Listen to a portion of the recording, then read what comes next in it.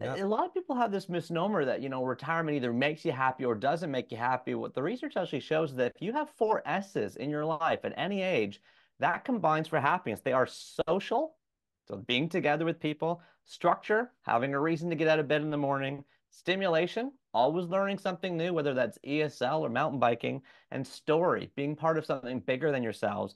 If you have those four S's, social, structure, stimulation, and story, you can usually find happiness with or without a paying job.